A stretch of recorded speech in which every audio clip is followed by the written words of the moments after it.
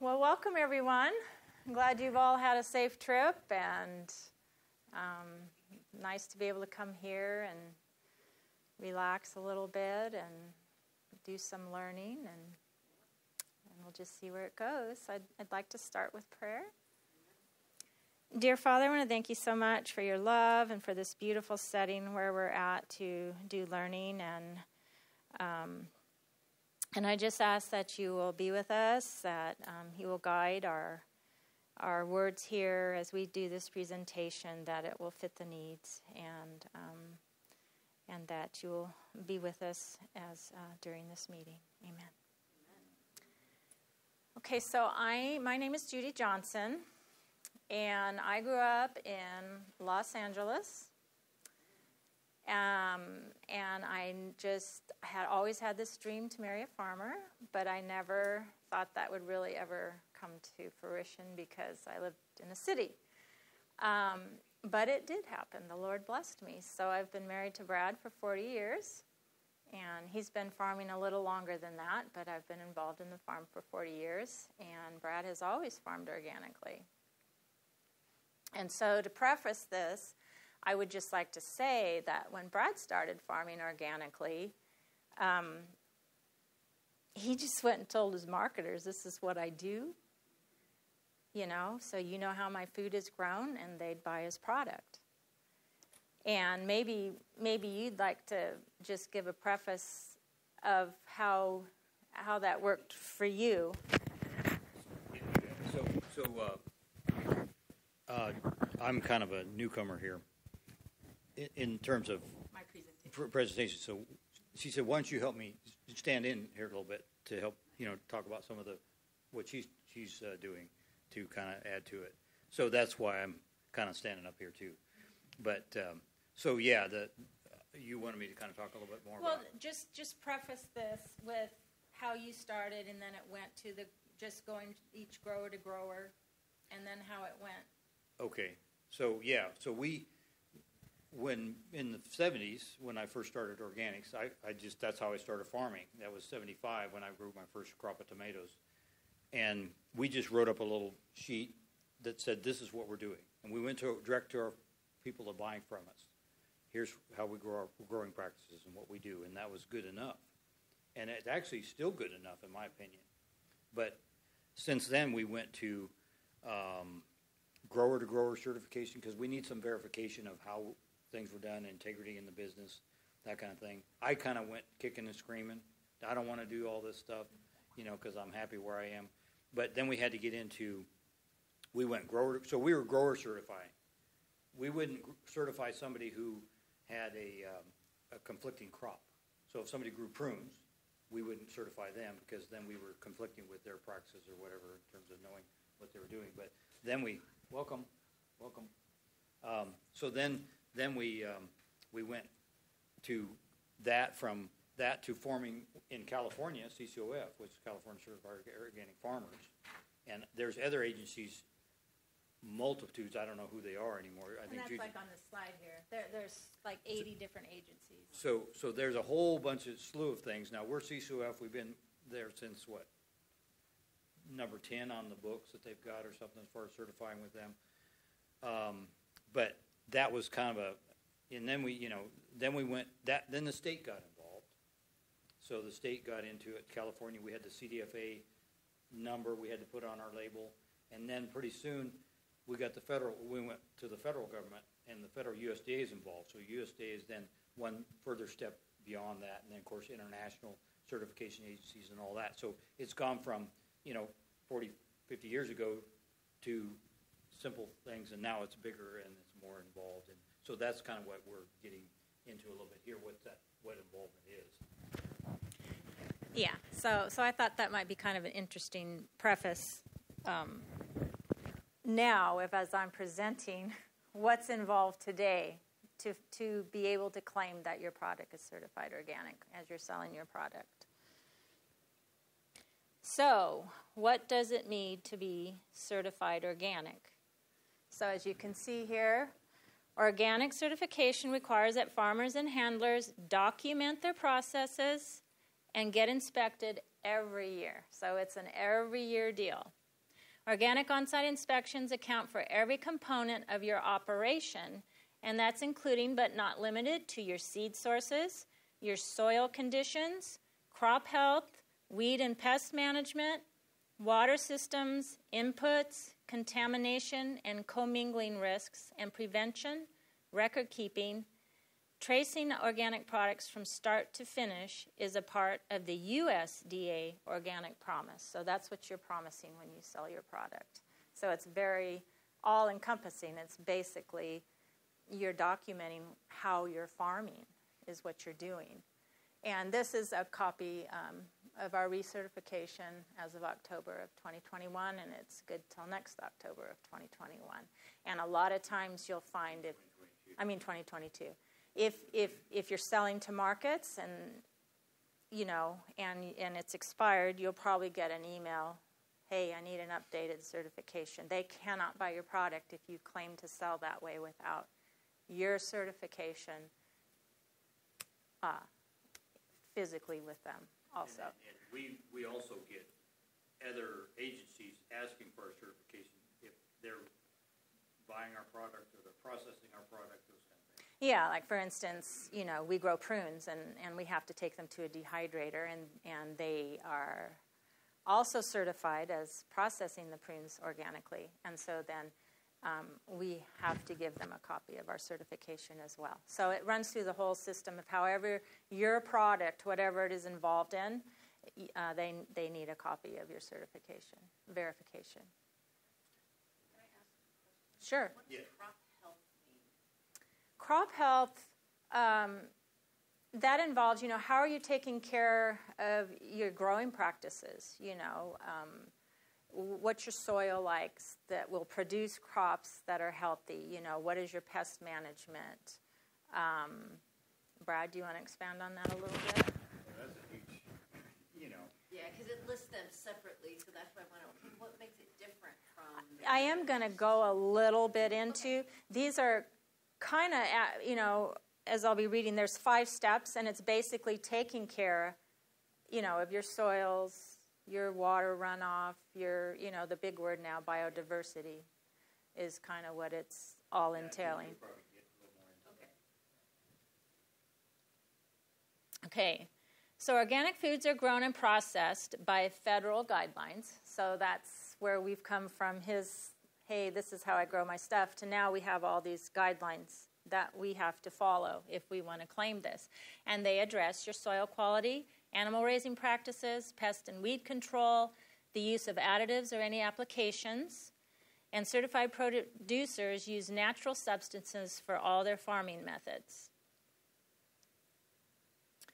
So if you're thinking, okay, I want to grow organically and I've just got this piece of ground, um, to be able to certify your ground, you have you have to prove and not have anything on it for three years.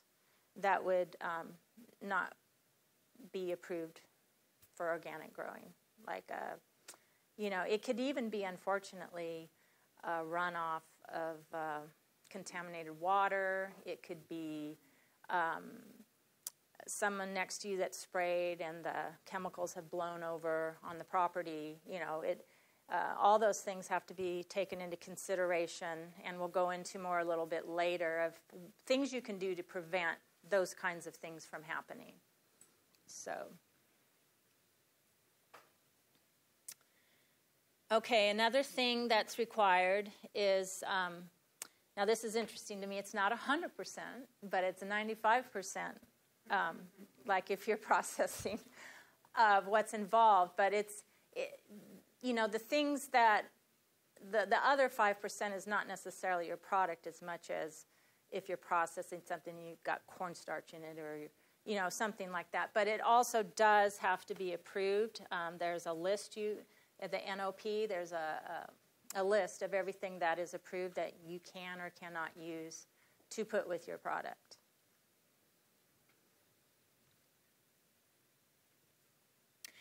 So here, like I was talking about, um, to be organically certified, it's a five-step process. Um, so this this is um, you know, I wish you could see this better. It's not very big, and I kind of need to see it myself. Um, I can probably kind of see it here. But um, can you help me see it, Brian? Because now I've got this setup mode that I, I can't even really see it. But, but basically, when you're going to have an inspection, You have this part here, though, right? yeah. Basically, when you're going to have an, expect, uh, an, inspection, an inspection, um, now it's all more emails. You're not going to get physical letters like this, but this is a letter, and this is they're going to send this out a little bit before you're going to have an inspection. And this is basically they're telling you everything here that you need to have ready and be able that you've had document that you have ready available um, in the inspection process for to be approved to be certified. So I wish I could see some of them. I did. you're saying, uh, So, so first you have to have an OSP plan, and I think we might go into that a little bit and later. Review and update your organic system plan. Um, So basically, what that was is like where Brad was talking about, he just told people, you know, how he farmed and everything. Basically, you're documenting how you're farming. And, and as we talked about, there's five steps here, and I've got them listed somewhere, but right here. But you're addressing your soils, you're addressing, um, you know, everything that you're doing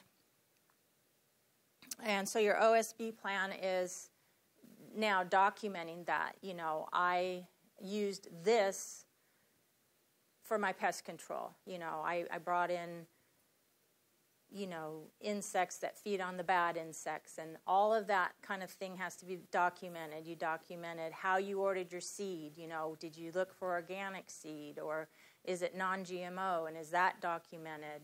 Um, you talked about um, you know how you're going to prevent contamination from other farmers or water sources and things like that. So that's what your OSP basically is: is how how are you running your farm, and you're needing to document that, and it has to be done in a way that will meet the certifier's requirements. Yeah, so does organic mean then non-GMO? Yes. Does that imply that then? Mm-hmm. Yeah, yeah. In fact, in, in CCOF, it, it, they have a label that we kind of put, uses, is, uh, basically it says that, organic is non-GMO.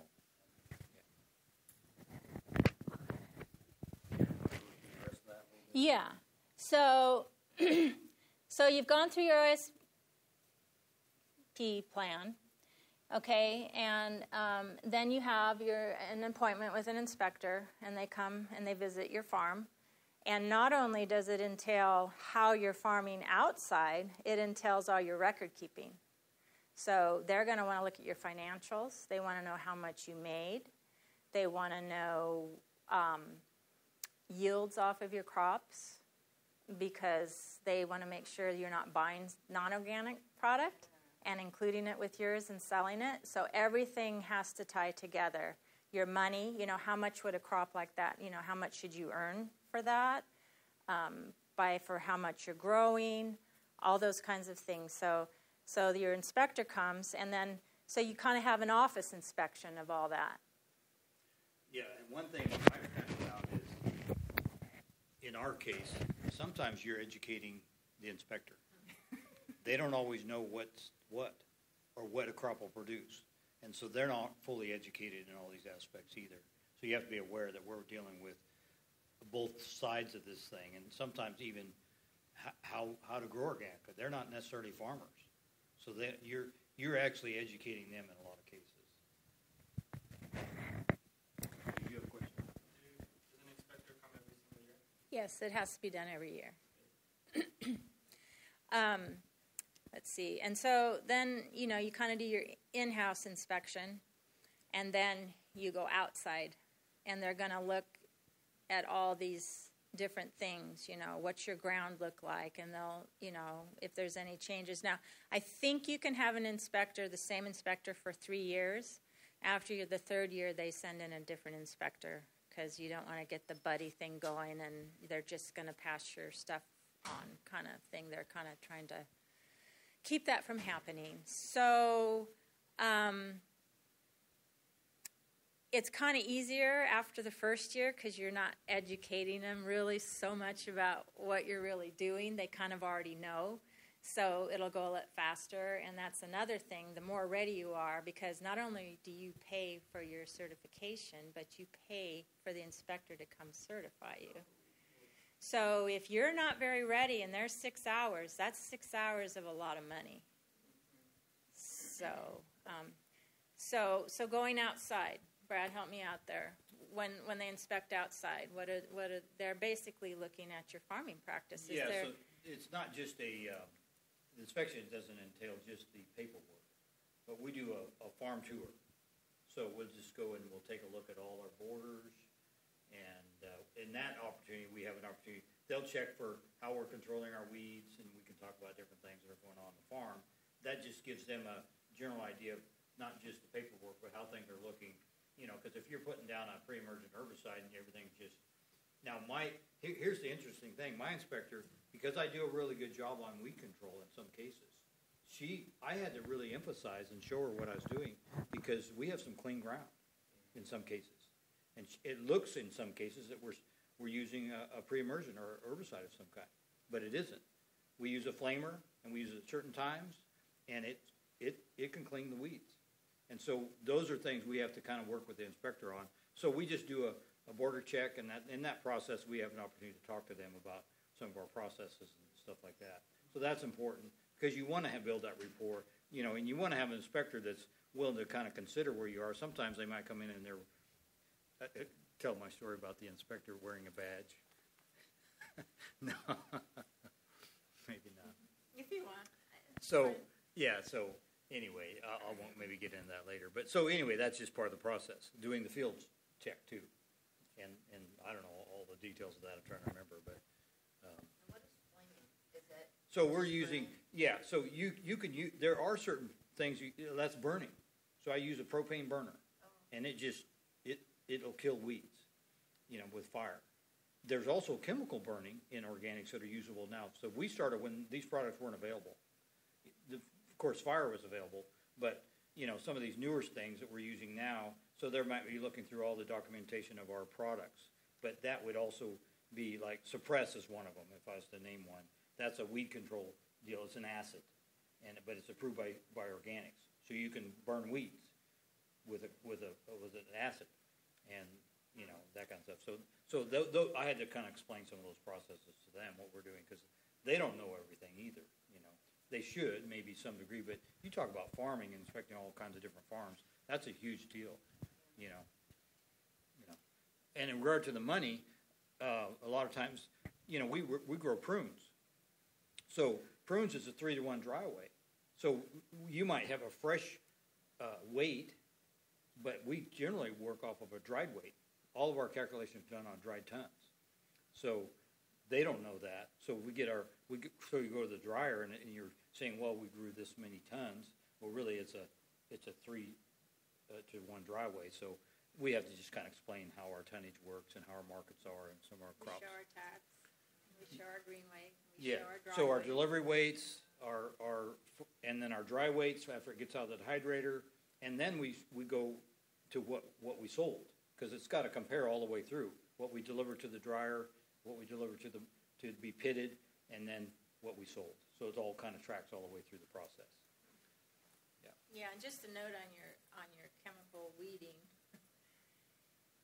The important thing with that is it, it doesn't work like your Roundup if you've got big already weeds. It's something you want to take care of when they're small.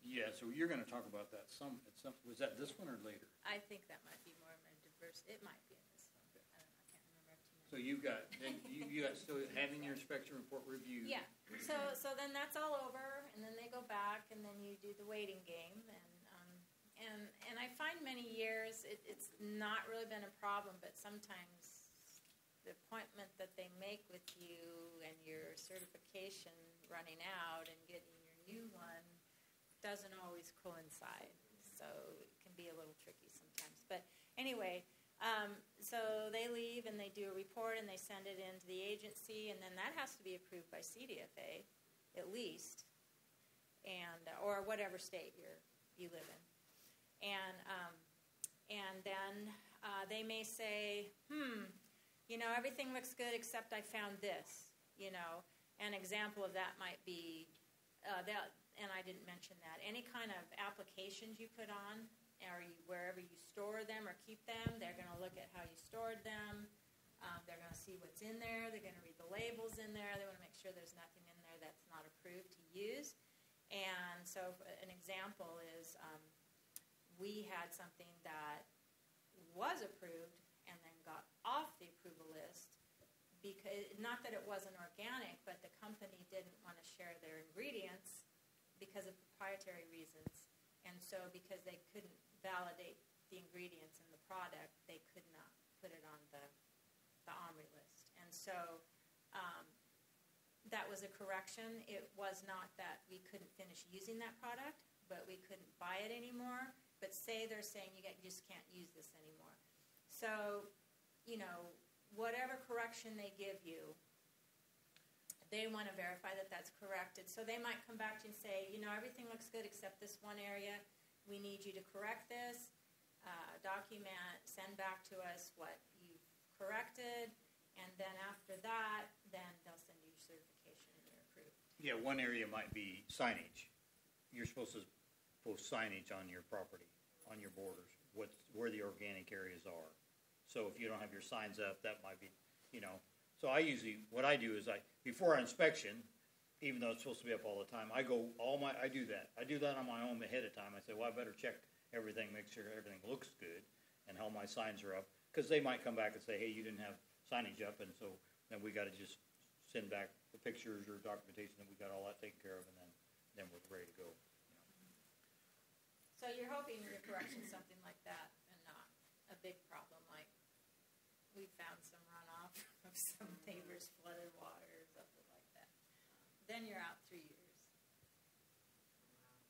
Oh, yeah, so then you get your thing. So, okay, and, and I don't know, you know, every state how that goes. I'm just, you know, we live in California. Not only um, do you have to be certified with your agency, but, and approved by your, the USDA or CDFA, whatever state certification you have. But you also have to register yourselves um, with the state, which is also another fee. and they want to know the same thing. They want to know what you grow, and and you have to answer a questionnaire. It's kind of a, it's not like an inspection, but they'll check it against, you know, they got access to your certification uh, information. Put that up there. Well, I just thought it was sharing. So that's something to consider if you're thinking of being certified also. Okay, now one of the areas that we kind of mentioned was seed. So, how do you handle seed if you want to be certified organic? So, there's a process. You um, now would be email. Before we would send letters or we would fax to um, three different seed companies or a variety, but at least three and you have to ask them, you know, you kind of make a list, as you can see here, of, of what. No, you can't. How come that? Oh, that's the next slide, sorry. Anyway, you have to make a list and um, find if it's. Um, if they have that available in organic seed. And if they do, that's their preference that you buy that organic seed. Sometimes it's you know you've had experience with seeds and you know you're looking for production and you've tried an organic seed and it doesn't work as well um, and and you state you know i use this because but beyond that um, of using the organic seed so um, it if it's not organic then it has to be verified that it's non-gmo Yeah, so what we'll try to do is, I've got certain varieties I like to grow. They produce well, there's some eggplant, some zucchini that are really good, but they don't have an organic, I can't get an organic seed for that. So even though I could grow a different zucchini, I can still get that, use that, as long as it's not treated and non-GMO. And I might then experiment with other varieties along the way that are organic that I can maybe introduce into the market. but I can still grow those ones that aren't necessarily organically grown. I don't know if that's, Yeah, they, they just have to be verified that they're not non-GM, I mean, that they're non-GMO. And so here, here's an example of a letter we used to send out. Now we do it by email. But, and then we just kind of, we have a little spreadsheet, and these are our uh, um seed companies that we do a lot of our ordering from for our seed. And then we mark, are they organic, yes or no? Are they non-GMO? Do they have a, you know, some kind of way of providing, you, you have to have some documentation by them if they're not organic and that they are non-GMO, that they are non-GMO. So everything is about record keeping with this process. Okay, so here's the example from Johnny Seeds where they have a pledge there that um, anything knowingly that they produce or buy or sell is non GMO. So that would be something that you would need to have your, with your seed records as they're checking those, those uh, that out. And they're going to check also your invoicing, you know, the whole process. Everything's a whole process. So it's the seed you buy and it's the invoices and see how that matches. And also the verifying it's non GMO. Okay. So now we'll get a little bit into to the areas um, of your soil and fertility and things like that. So, organic certification is intended to assure consumers that a product marketed as organic was produced according to the organic production. Organic farming is farming that makes healthy foods, soils, plants, and environments a, pri- a priority as well as crop productivity. It supports farm biodiversity. Biodiversity. Organic production does not use genetically modified seeds or synthetic pesticides or fertilizers. All right, so um, soil fertility. Crops more readily resist disease, drought, and tolerate insects when they are grown in good soil. Builds good soil quality, and using cover crops protects the soil from wind and erosion. So, um, so that's kind of I don't know. Are y'all familiar with the biodiversity word? so, so that. Me, I mean I am, but So I appreciate, I appreciate that. In fact, I- I'd like to kind of hear, you. we, we'd like to kind of keep this, you know, whatever is going on in your mind, you know, that you want to share that you, that, that pertains to this, but you're like me. I'm the same way. So I'm growing up, growing, I'm growing organically. Pretty soon, this new generation says, they come up with, so we, we, we're doing non, we're just doing stuff. And so then they come up with this idea, oh, we need to know what your biodiversity is. And I, I understand it in that you, you, you want to know what's going on on the farm. It's not just a chemical farm. You want to see that system working to be organic. So my daughter comes to me and she says, Dad, they wanted biodiversity, know what your biodiversity is. And I'm going, what? What is that? So now we not just have to, we have to explain it. So even though all these things are happening, and that's part of the inspection is they want to see that diversity happening. It's not just a following the rules. They want to see everything. That's part of the organic process. So I have to document now what I do in, in what's happening on the farm, whether it be the what the night crawlers and the and the interaction between my bats and my codling moth and and my uh, runoff with my I'm, I'm putting um, mow strips out for now. th- This isn't uh, for, to keep runoff erosion from going into the ditches, and that's normal in my process. But I have to tell them what's normal.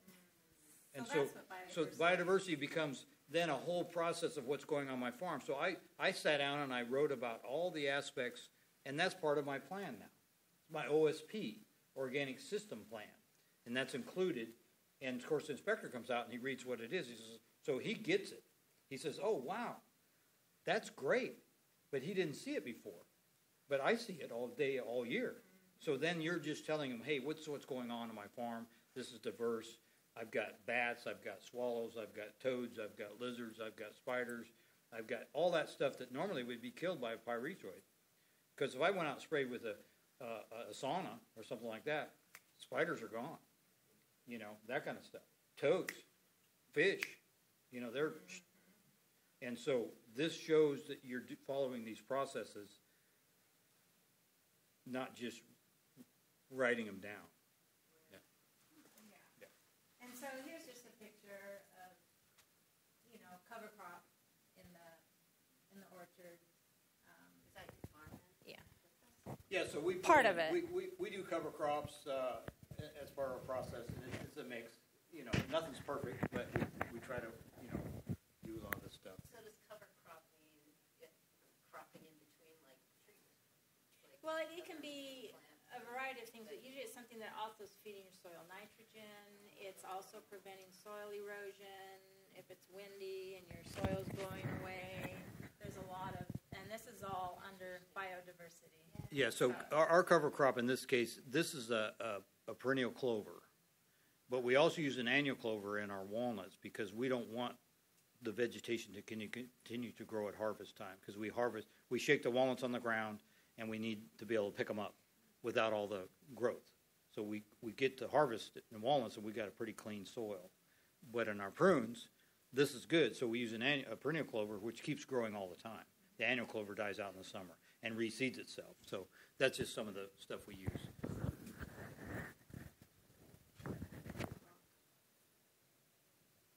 Okay, another thing is crop rotation. That is something they actually ask you about. And, you know, it doesn't, I don't know for us, I don't know what that means for you, but, um, you know, now our, our fresh produce, we have a very small area. Uh, we've kind of put in a more orchard for a lot of reasons. Um, but it's just not planting the same thing in the same place every year, but rotating those crops through.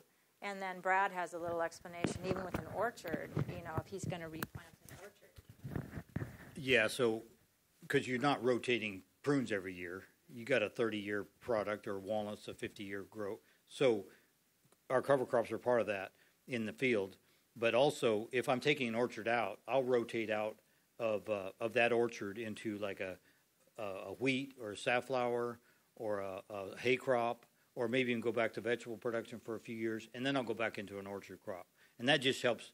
For me, it's we we have certain soil pests that that uh, grow in the orchard that we're trying to reduce before we put another tree crop back in. Some people just I've seen go back right to trees right away, but I like to rotate out of that into another crop before I go back into orchard again. Yeah. And, So it and- might be maybe years before I put a different crop in, but that's part of my program. So I'll just tell them that's what we do. You know, how are you going to rotate? You know, we're doing inspection. Obviously, that's a well, duh. You know, we're not going to push the orchard out every year. Okay, so um, it inter- and that was one thing he mentioned is it intersect, intercepts uh, insect life cycles or other other things that are kind of prone to like a prune tree or a walnut tree. You know what's in the ground there. That gives that a chance to kind of be gone and um, and take care of your insect problems. nematode. You've got bacteria that give you trouble. So that kind of goes with suppressing soil-borne and plant diseases, prevents soil erosion, as I talked to you, told you, your your soil's not blowing away in the winds. Um, it builds organic matter. It's a good nitrogen source, and as we mentioned, it increases your biodiversity. So, how do you manage pests? So um, that's part of your system. And prevention is the first line of defense against pests and weeds. Um, you can use predatory insects, you can manually remove them, um, and then you can use organic certified approved pesticides that are natural, such as microorganisms and pesticide derived from plants. So I'm going to have Brad share just a little bit of his little insect and all that kind of stuff that goes on for pests at our place. It's also um, certain flowers that attracts bad insects or good insects. Yeah, I'm trying to think of where to go with this. Um, so yeah, we, you know, over the years we've tried different things. Of course, we've t- re- re- released insects like lacewing eggs, and we go up in the hills and harvest uh, ladybugs and bring them down to the valley and release them. You know, that would be just to explain that a little bit. We we go up in camp and we find that ladybug uh, swarms in the mountains, and then we would uh, bring them back in an ice chest, put them in our cooler, and release them at night in the fields to try to get them to stay. And in order to get them to stay, they would we don't want them flying back to the mountain, so we'd go go get like a soda pop or a sugar water, and we'd spray it on their wings, and and try to get them to stick their wings to stick to their body at night, so they crawl in the tree and then acclimate. Because we had aphids, aphid be a problem. So we want them to stay and lay eggs and produce uh, larvae and, and eat the. And so that's just that's one aspect. So we're t- talking about that. We're talking about biodiversity again, kind of thing. And weeds, you know, uh, same thing. You know, you we're just you know you want to cultivate your weeds early. Don't let them get big. I don't know if that's following along the line of what you're talking about. Wasps are huge. You know, trichogramma wasps, parasiticized aphids, and so that's part of the what's going on for our pest control. Uh, it's multitude. I mean, I, all, every crop we have has its its unique needs of, of, uh, of pest and control. Yeah, go ahead. Have you noticed a difference actually catching and releasing uh, those insects on your on your farm?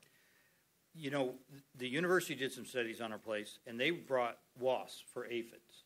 Now they were doing very scientific releasing. I don't know. I'd have to look back on their stuff, and that was they, they would wrap the the leaves from, you know, they would I don't know. It was amazing uh, whatever they did, but so they were releasing a wasp. Now we have since.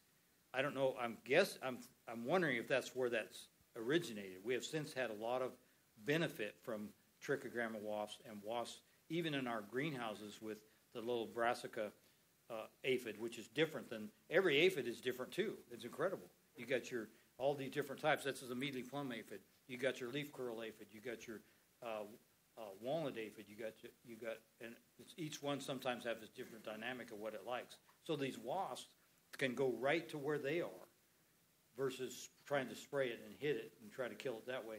So yeah, I think in that case, yes. In terms of we released uh, lace wing, wing eggs for years in our vegetables. I sometimes thought we were just planting an ant food, Right. you know, because ants like to eat the eggs. But they they they uh, naturally they'll they'll lay their eggs on a little uh, web up off the plant, you know, what half an inch off. That's for predatories. So I think naturally they're there now, and um, so they provide us a big benefit. Uh, ladybugs, we have a lot of ladybugs, and uh, so that's you know that just shows you know come back to that biodiversity thing, you know, what we're doing and what that is working. And so yes, I guess the answer is uh, long answer is that, and yes, I think we see the benefit of that. I don't know if I could scientifically prove it, except visually we see it happen. Well, and, and another example is is we built bat houses, and so we have bats that come in during the summertime and fall until it gets cold, and then they'll come back every season. And some actually stay, but we have some apple trees too, and we definitely we'd always had trouble with worms. Well, they're night flyers, and and we had beautiful apples. I- So the codling moth flies at night, and, they, and we our idea is they feed on those. Uh, we have I don't know our bat population is we have we put we got about six houses out. Each house will Don't go hold- out at dusk. Yeah, six to twelve hundred bats in a house is potentially that much, and uh, then with their they yeah they're they're kind of a nuisance in some ways, but Um, yeah, I mean it, it's it's pretty ominous to go out about sunset, don't tell them. and and they'll you know they're all coming out to do their their night work. Do you see the same pests uh, year by year, uh, or do they change up? I know you're feeding the soil and doing different things, um, and since you're doing that, you see them falling off less and less as you continue to add to the soil. Yes, I, I believe so. Uh, I kind of will talk about, about this personally myself in another presentation, but because I'm kind of I'm putting in some of my stuff that I'm doing later. Uh, yes, we've seen, and I'm not sure if I understand it, because we do try to work heavily with our soil balancing, and and uh, in 2018 we had a real heavy aphid infestation, and we could not control it to any good degree with all the stuff we tried. And so I try to review my practices and those kind of things. But the, the, the thing is that the other uh, farmers were having the same trouble. So that made me think it's not just me, it's not my practices. And I- since then, we changed our practices to go to a more a better system. We, we think we were missing some things that year. And so we went back, and I haven't had any trouble since. I don't, so exactly to tell you for sure, you know, I don't know. But we, we, some things will crop up, and you think, oh man, what's going on now? I think I think the environment, I think the weather, I think there's all kinds of things. You know, when it's been a certain high temperature or a low temperature or wet or dry. You know, I think all those at certain times definitely play a role in that too. Okay. Um, uh, we got about 15 minutes, I think. So okay. So then they they um, are they're going to want to inspect. Um, what are you doing to preserve the integrity of your farm? And we kind of touched on this, but this is a picture of a hedgerow. This is our walnuts, and and we planted. What do you call these things? Italian cypress. So so we have a, a farmer that farms walnuts on the other side of this hedge that is not organic. So we have to protect our stuff from his you know from his stuff. So this is an example of um, of a hedgerow where we're um, protecting our uh, the runoff from somebody else or Yeah, drift or whatever. Drift or, or Yeah. neighbor intrusion, those kind of things. Yeah, this particular neighbor is not, we get along and son, the sons have taken over his business since, but that's not just a, uh, organic barrier. That's, that's, there, there was some intrusion that was causing me trouble that he would just, he would drift, he would drive through and he would drift his herbicide boom on my, coming across the road. And so it would drift, so I just kind of say, hey, you know, I love you, but just leave your stuff on your side, you know. because then we can't farm it organically anymore. So, and then here's the signs he was telling you about that you need to post signs everywhere you're growing, that sh- so people are aware, you know, and will respect that. You hope. Okay, so this is a slide that's just kind of showing you of the meaning of the 95% or, or your labels you can use. So products must be a minimum of 95% if you're going to use a USDA organic label on any kind of packaging that you're going to do or claim even at a farmer's market if you're going to put a little label that you're organic you know you, it, it's it's got to go by by that much there at least 95% and so there's different levels here you can see. Now if if you're not certified you cannot claim even though you're practicing everything to all the rules and regulations if you're if you don't have that certification you cannot claim that you're you're a certified organic farmer. But you can say I grow I, I grow these organically or if you have a product with ingredients or things like that you can say I used organic ingredients to make this product but you can't claim to be certified uh, under 95% and then there's the different levels here um, that it talks about of kind of the regulations of, of what you can say and what you can post and all that kind of stuff. Um, so any labeling you use um, needs to be approved by your organic certifier. So you can't just say, oh, I want to sell my prunes and bag them like this. Because we started an online store, so um, you know we'll we'll mail these out. But we we made this, and then of course we put the ingredients and everything on the back. But we had to send it to CCOF, and they had to approve it before we could sell with our label on it. So that's an example of that. Um, each label for each commodity, even only the weight is different, one pound versus two pound. Any any change on that label has to be approved by your certifier. So you can't just have, you know, the walnut label uh, at a half a pound. It, then you got your 1.25 pound bag. That label has to be approved also. Anything that you're um, putting on anything to sell. Okay, so your OSP is a document that includes, and we kind of talked about this, in detail all the practices implemented to follow your organic guidelines and regulations. Usually, um, so as we've been talking about this, your, certif- your certifier will provide you with guidelines. So, so So- on their website has OSP form, organic system plan is what that means.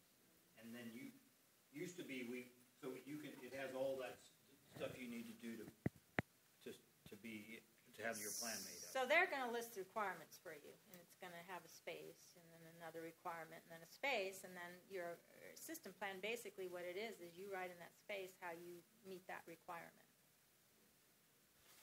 Okay. Um, and and in that, all those regulations and requirements that that they want um, is going to deal with all these things we've been talking about the soil practices, your labels, your approved processors, like where we have our walnuts processed or our prunes processed, where their locations are, and all the materials that you use on your products that they're all. Yeah, so we create a flow chart, which that, helps me, because they want to, they, for them to see it in words, it doesn't help so much. But we make a flow chart, shows from the field to the market, and where it goes and all that stuff, that helps. Okay. Um, and then I, I wanted to make sure you guys saw this slide because um, record keeping is very important of your applications. Okay. So um, you can use paper, you can use an Excel, you can use whatever you want, whatever is easy. But there, there are also online services out there that have software that you can use. And it's nice because, you know, this is years worth of here that you just can click and everything comes up. And all your inputs are on there um, for all of, of your applications. And also, um, interestingly enough, even if, um, you know, all your products organic, but it has an EPA number on it, you still have to report that with your, um, your county ag advisor, uh, commissioner. At least here in California, I'm not sure how they deal with other places, but, and then, then this, this also, if you were gonna mention, it, I'm not sure, um, it keeps track of your field operations, not just your inputs. It, it's a little more robust than just this window. And, um, but it, uh, also, um, your inspector, you can give them a guest pass. So before your inspection, they can come in and look at your records. And they can't do anything to them, but they can just go in and see, okay, here's what we've been doing, and, so that helps cut down their time on the farm. Yeah, so you're not paying the money for them to be going through all your paperwork and, and everything. Okay, so what I'm gonna end with here, almost anyway, I wanted to show you this. Um, this is Brad, when he kind of first started out with some of his watermelons. And this was his organic practice, OSP. This is in seventy-five. My mom, before we were married, but my mom and I came up with this. It's what we take to the market, basically. So basically, what I'm kind of wanting to get across to you here is this is where it started, and now what I've been telling you is what it is today, and the difference that that's happened. What's it there. say? It says the good old days. Yeah, but I mean, re, I think it's important just to see how simple it is. Oh yeah. But it um, does cover the bases, I think. Can you read it, Brad? So here's what it says. Um, we are a family farm operation located 70 miles north of Sacramento. We hope in our program we are able to bring a product to you with its finest potential of minerals, enzymes, and flavor. Our program of building the soil includes compost, rock dust, manure, cover crops, occasional foliar applications of kelp, and other natural elements if needed. Insect control is obtained by using beneficial insects, mechanical or physical means. However, if spraying is necessary, we use natural occurring compounds. Weeds are controlled by using mulch, mechanical, and physical cultivation. We do not use synthetic fertilizers or compounds. We have been working with commercial scale organic farming since 1975. Each year we learn new things and make improvements. We hope you are satisfied with our produce. If not, please let us know. We welcome any helpful suggestions. That's good enough. But now we got this. So I have a couple more slides real quick, but we've kind of covered it, so I'm just going to kind of go through them just pretty quick. Some of the challenges is finding correct applications that are going to work for you. Um, this is one now that we're dealing with with the, the water, at least California. I don't I don't know where it is in all the other states, but the water coalition and all that that's going on is we farm organically and we don't have runoff of bad things in our water or anything, but we still have to get certified. We have to go to the meetings. We have to go to school. We have to do all these things and pay these fees for something that we're we're not contributing to. Um, Your, your hand, Mike, is. Oh, sorry. Hope they're hearing me anyway. Um, so, market requirements are always changing and requiring more documentation. And that would be maybe one of the big things. I know this was um, of why maybe you want to, um, if, if you're thinking of farming and growing and that kind of aspect of selling to markets, more your wholesale markets or that kind of line, retail, things like that, is that they're requiring that before they're going to buy it from you. And they actually will send you a list of requirements that you need to fill out. Yeah, it, it can go beyond just the certifying process. They're getting into more social net, social aspects. How you, how do you treat your labor? How do you treat your bees? Some of those things are even more extensive in some of these places they're wanting to know. And, and label, rating you in terms of scale of what kind of farm you are. Anyway, just a note there to think of. And then, and then of course, you know, it's a little more challenging with your weed and pest control and disease control. Inputs are, uh, cost is higher, um, than your conventional things. And so, um, as I told you before, there's like nearly eighty agents out there. You can kind of research. Some might fit your needs better than others. I know some are a little more on the biodiversity favorable rather just following regulations of, you know, USDA, things like that. Um, and who you can work with, which ones are in your area. So anyway, that kind of concludes our presentation. I don't know if you have any more questions or not, but I hope it was a little helpful to you. I was wondering how much does it cost a year? You know, it depends on how much you grow. Uh, you're charged by your income. So, At least in our case, we don't know about other agencies. yeah, for our agency, that's what it is. So, you know, it's, it's a hefty price. I'll just tell you, you know, we, we probably pay about twelve hundred a year. Just for that label. Just for, yeah. That, that, does that cover, that doesn't cover our inspector That fees? doesn't cover our inspector, that doesn't cover the state. Now, The they profit- also are, they also, um, have worked with the state where, where you can get reimbursed, you can get a reimbursement, there's a reimbursement program. So there, there is ways to maybe get some of your money back. Does the profit you make from having that label cover, cover it well enough though? Yeah, it does. I mean, it's benefited us highly when we were highly into the produce wholesale business, definitely. Because you just wouldn't even have a chance Right. of, you know, selling your product otherwise. How big is your farm? I'm just wondering, how do you see this, since it is dealing with the government and stuff like that, in these last days of just kind of regulation? Do you have any thoughts on that? Us personally, partly from our age, partly from all of this, we're honing down. We're, we're kind of doing our own thing and, you know, we're not doing as much wholesale, you know, that kind of thing. Um, it, it's, you know, I think it's something that we all think about. I do, you know, a lot, even, even in choices I make, like, I don't know, you saw my horse up there. I like horses, you know, but I'm like, you know, in the end of time, what am I going to do with my horses? You know, should I find homes for them? You know, things like that. I think, I think the Lord can speak to us, and I think He promises that He will, you know, guide us into expanding or not, you know, things like that. And I think as long as they're not going against, you know, God's guidelines, I think, you know, it's okay to some extent. Any other questions? Well, thank you very much. I hope that was some good information for you and that you learned something.